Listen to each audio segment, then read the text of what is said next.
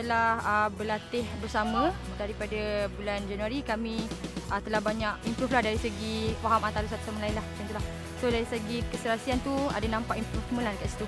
Tournament yang macam ni penting bagi kami di mana kami boleh dapatkan pendedahan kepada diri kami lah masing-masing sebab uh, dari situlah kita boleh tengok macam mana kita punya tahap permainan dan dari situ kita boleh belajar dan improvekan lagi dari semasa ke semasa. Bagi saya ada penyertaan daripada South Asia sendiri jadi di situ kita boleh tengok sendirilah kepada kita punya perkembangan pasukan sendirilah di mana di sini kita boleh tengok macam mana kita punya persediaan dari awal sehingga ke sukan sini.